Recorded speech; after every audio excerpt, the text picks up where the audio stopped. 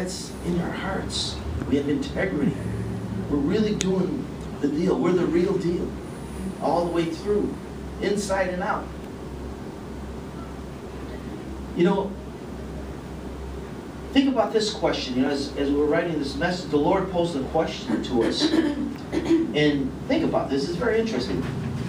He said, when a man dies, his soul goes either to heaven or hell. And his brain is left here on the earth. You know, when they bury the person. So how is he able to think? So the Lord asked me a question, you know? So I began to think about that. I'm like, oh, you know, then it dawns on me, you know? You know, he's able to think because he's able to think from his heart. Mm-hmm. So you can think from your heart as well as from your brain. Just like Jesus said, you know, in Matthew 15, 19, you know, evil thoughts proceed from the heart. Good thoughts can proceed from the heart too. Or when uh, Peter confronted Simon the sorcerer, he said, you know, may the Lord forgive you the thought of your heart. So I see you're in the gall of bitterness. You know, forgive the thought of your heart. There was something that was coming out of that man's heart that was a deep thought in his life. It wasn't, it wasn't a good thought. It could have led to his destruction.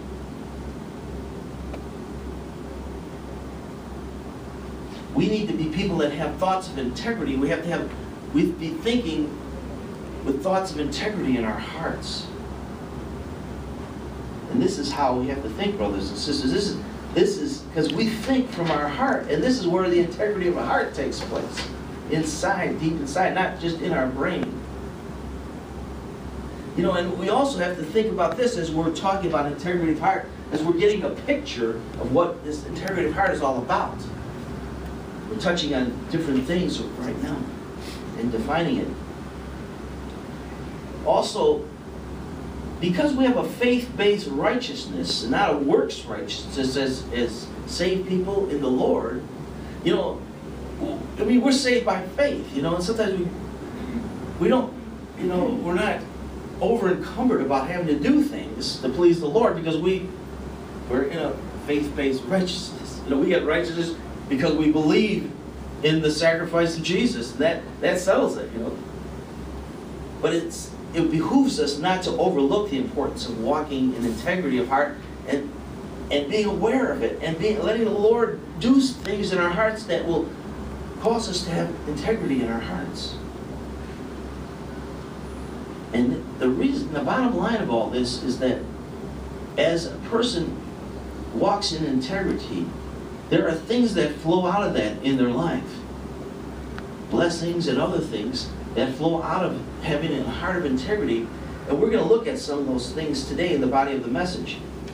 So as we proceed now, let's open our ears and, and our minds and our hearts and let God speak to us about, as we walk in integrity, what it'll do for us and what we'll see in our lives because of it. Yes. Now, walking in integrity of heart, when you do so, you will be preserved. Let's look at Psalm 25, verse 21.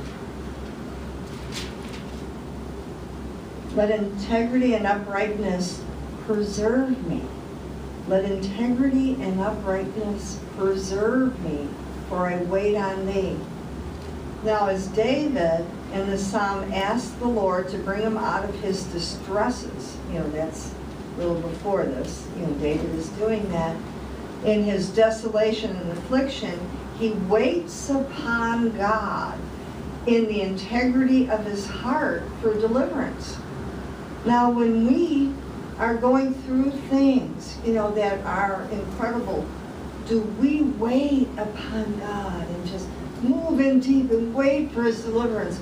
Wait till you have that sense in, of freedom in your spirit that you know that he's heard you. You see, that's what David did.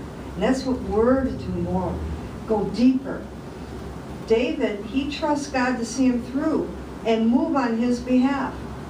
Another person we're going to look at is Job. in regard to um, preservation, it's Job. And we're going to look at Job chapter 2, 3 through 9.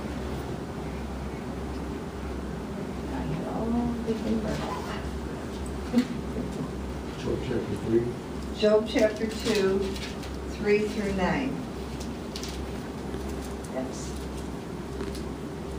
And the Lord said unto Satan, Hast thou considered my servant Job, that there is none like him in the earth, a perfect and an upright man, one that fears God and escheweth evil, and still he holds fast his integrity?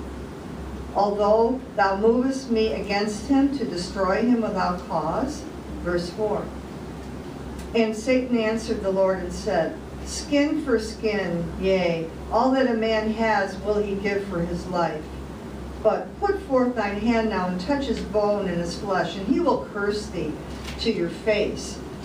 Verse 6 And the Lord said unto Satan, Behold, he is in thy hand, but save his life.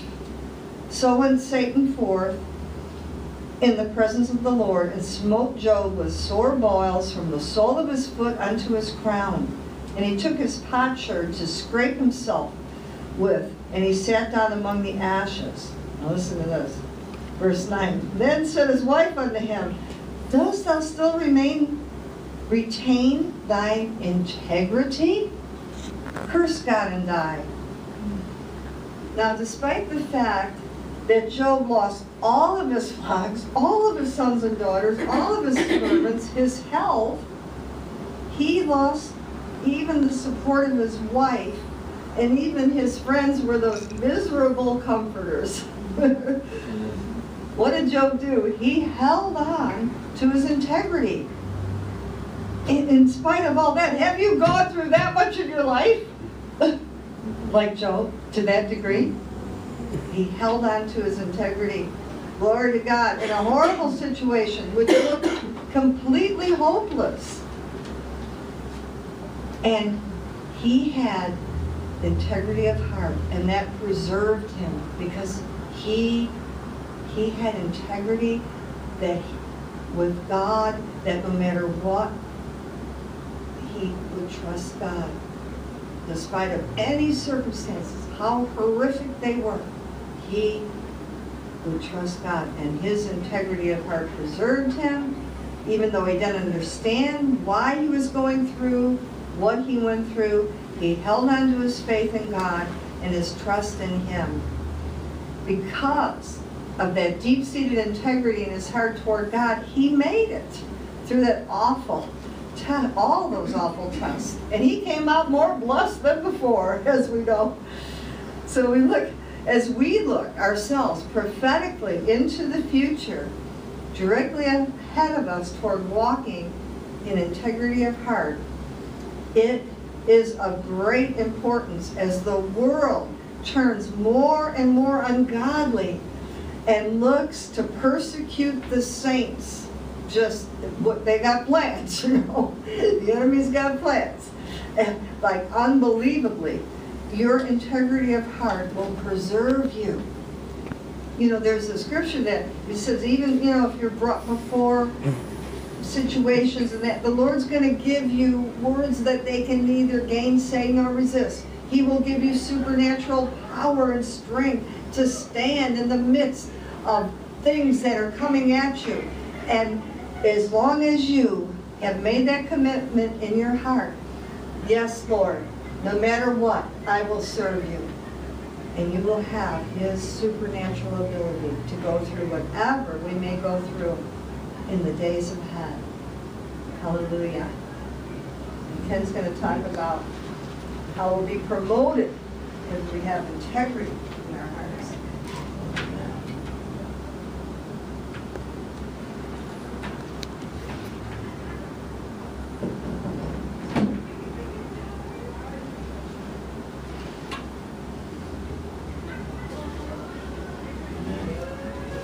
It's a very powerful, um, very powerful point.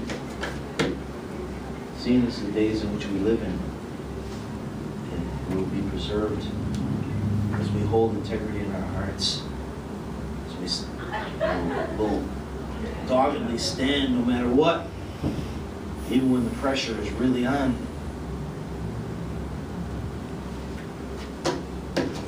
You know, they, it's, it's it's said in history that they had a problem in the early church because when some of the persecutions came, some of the people acquiesced. And then after the persecution was over, they wanted to come back into the church.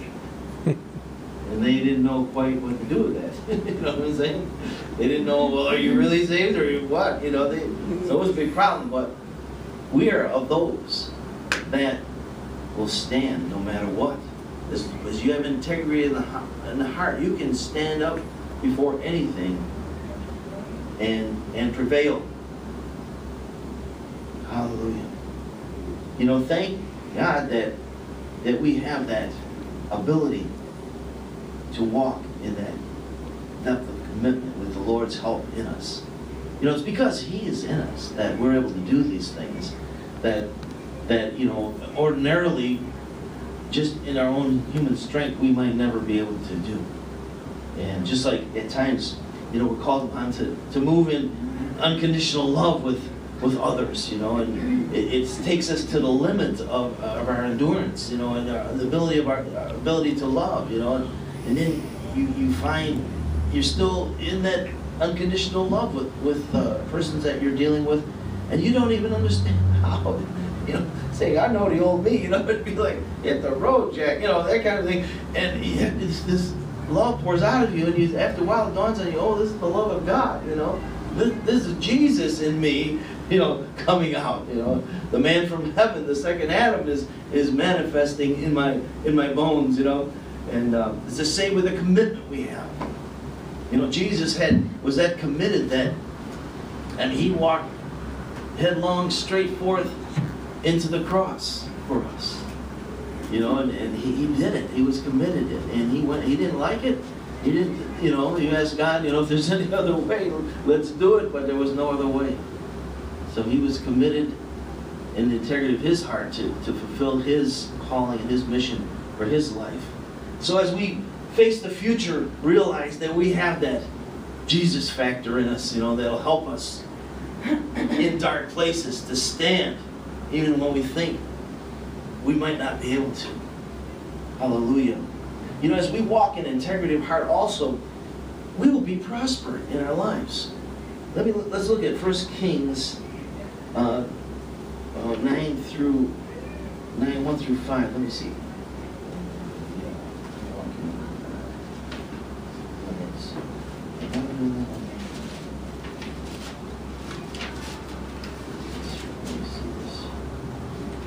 I'm doing number two.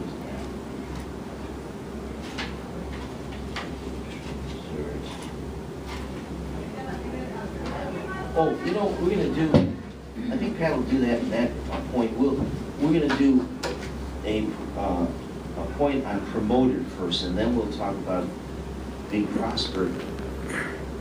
You know, as we walk in the integrity of heart, we will be promoted. And let's look at Psalm 78.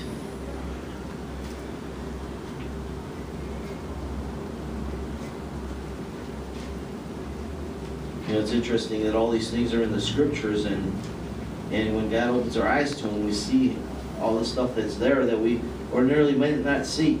Psalm 78, verses uh, 70 through 72. As he comes to the end of the uh, psalm there, it says that God chose David, also his servant, as, he's, as he talks about other people as well, and took him from the sheepfolds, from following the ewes with great with young.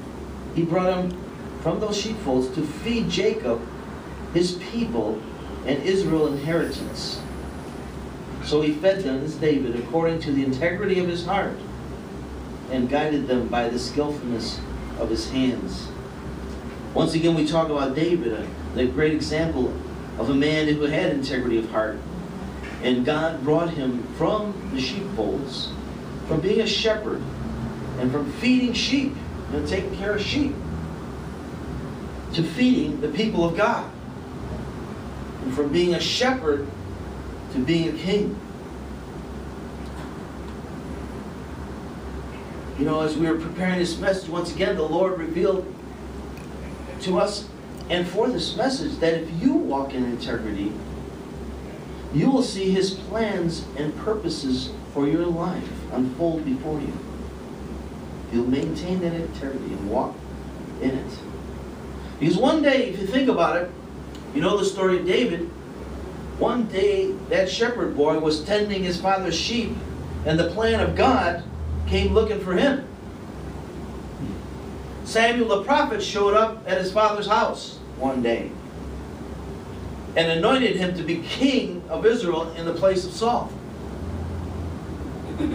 So, as he had integrity of heart, even as a young boy, and was careful to be tending his father's sheep, faithful in that assignment, one day the prophet shows up and reveals God's plan and purpose for his life and sets him on that course by anointing him. The Lord also revealed that he can trust you with more as you have integrity of heart because he can trust you to do the things that he commands. So he can promote you because you have the integrity that is necessary in various situations. Remember King Saul, who David replaced, lost his position in God because he would not carry out God's commands. And why was that? Saul had very little, if any, integrity of heart.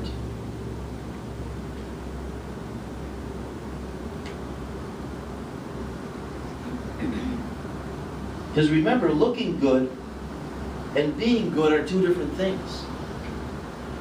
You see, Saul, who lost the throne of Israel to David, looked very, very good. Let's look at 1 Samuel 9. 1 and 2. Now there was a man of Benjamin whose name was Kish, the son of Abiel, the son of Zeror, the son of Bechorath, the son of Ephiah, a Benjamin, a mighty man of power. And he had a son whose name was Saul, a choice young man and goodly. There was not among the children of Israel a goodlier person than he.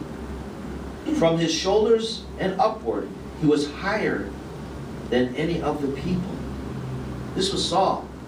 Saul was a, you know, I mean, he was like a John Wayne type. You know, I mean, he was tall and handsome, and he was, he was, you know, his head and shoulders above everyone else. He, he, he's the man for the job. He looked good. He looked good. But after he was promoted to king, the integrity, lack of integrity of his heart led to his downfall. He couldn't handle what he needed to handle to stay right with God in a position of power and authority in a promoted position. He lacked integrity. He wasn't walking in that. He lacked integrity of his heart. And really, if you know the story of Saul, it led to the end of his life. And his purpose was over. You know, if Saul had remained faithful to God and, had integrity of his heart, he would have, it said, the Lord said, he would have, he would have continued his throne. But he had to give it to David, a man with integrity of heart, to take his place.